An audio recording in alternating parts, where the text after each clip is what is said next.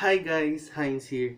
Today's video, I'm gonna teach you a core exercise. I'm gonna show you how to do a crunch. So let's begin. Here are the steps. Lie on your back. Feet should be flat on the floor. Knees to be hip distance. Chest open. Connect hands. Put on the back, head or neck, then lift. Do it for 10 to 15 times.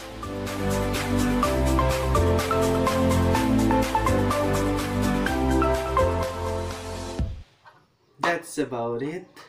Like, share, and subscribe, and I'll see you again next time.